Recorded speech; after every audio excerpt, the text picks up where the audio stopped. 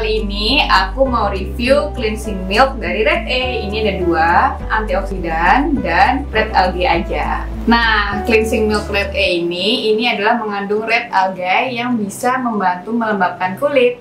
Nah, kalau yang ini, ini ada tambahan antioksidan. Cocok banget buat Viva muda yang sering bepergian di luar karena mengandung antioksidan untuk mengurangi radikal bebas. Sekarang kita lihat teksturnya yuk. Uh, kalau yang ini, aku coba ya. Teksturnya kental kayak gini.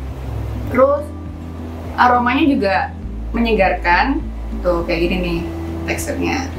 Oleskan di wajah dan leher sambil dipijat-pijat agar kotoran di muka hempas semuanya. Lalu jangan lupa dioles dan dibersihkan menggunakan kapas. Nah itu tadi review Red A Cleansing Milk Red Algae dan antioksidan sampai ketemu di review selanjutnya. Bye